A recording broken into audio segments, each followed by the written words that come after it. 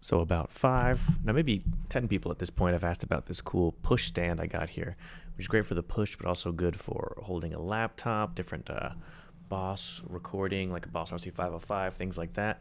So check it out. I found it on a nice like uh, Facebook user forum. Happy I found it. It's a WALI mount desking tray. I've got the link and info up here.